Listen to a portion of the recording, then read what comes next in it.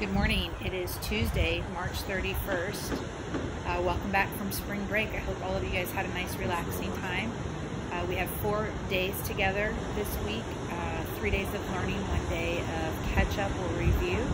Um, I look forward to seeing all of your smiling faces. I miss you, and I. Um, There's more people than I expected.